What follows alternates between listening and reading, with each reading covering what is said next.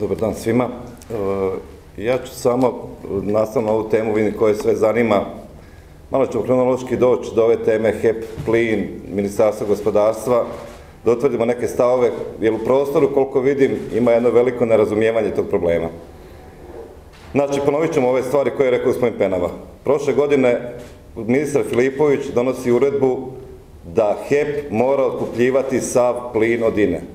Taj plin se koristi iz vrtića, škole, državne ustanove. E, nakon toga, taj kako proces teče, e, početkom ove godine naš zastupnik Daniel Spajić je upozorio 26. ožujka još ove godine da se ta uredba mora hitno ukinuti jer je plina u Europi zbog blage zime ima previše, sva su skladišta puna i doće se u problem.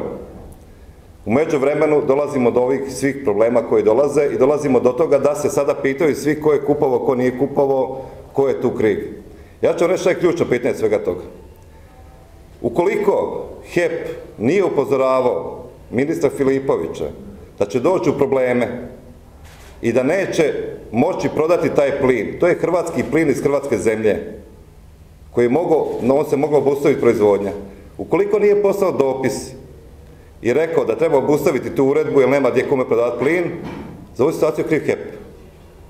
Ukoliko je slao dopise, a ministar Filipović se oglušavao te dopise, kriv je ministar Filipović. Ali, znači, i jednom i drugom slučaju, kriv je onaj koji ih imenovao. Znači, i, gospodina Barbarića i gospodina Filipovića je imenovao Andrej Plenković.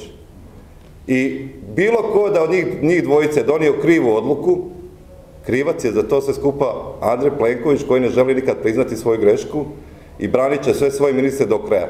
Mada se iz aviona vidi da tu nešto neke stvari ne valjaju. Zašto je došlo isto do ove situacije? A, ajmo se vratiti malo unazad par mjeseci oko prodaje Petrokemije i odugovlačenja prodaje od 12. mjeseca do 3. 4. mjeseca.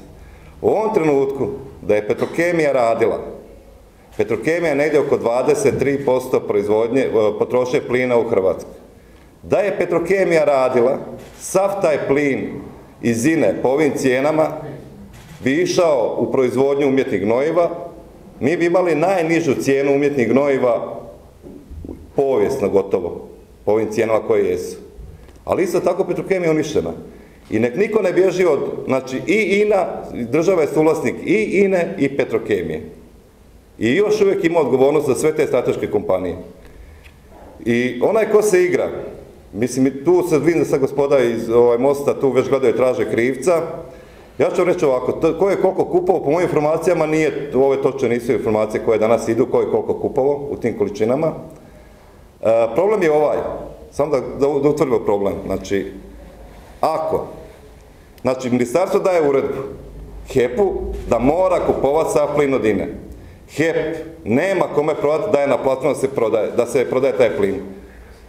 Ako, ako je HEP prodavao plin, da stavit ću sad ovo olovku kao da je plin, kupovao od INE po 10 kuna recimo, a INA taj isti plin kupovala po 10 lipa, pa ponovo prodavala po 10 kuna, po 10 lipa, prodavala po 10 kuna HEP-u, a kupovala po 10 lipa, to je zatvoreni krug, neko je omogućio da se varaju hrvatski građani. Znači, to je na štetu HEP-a i hrvatskih građana taj proces. Ovi ostali sudionici koje je kupovao, nije kupovao, po mojim informacijama svi su kupovali po nešto, ali nije tu poanta priče ko je kupovao, ko je doveo u situaciju da HEP de facto mora kupovati 47 eura, a da prodaju bescijenje. Hvala lijepo.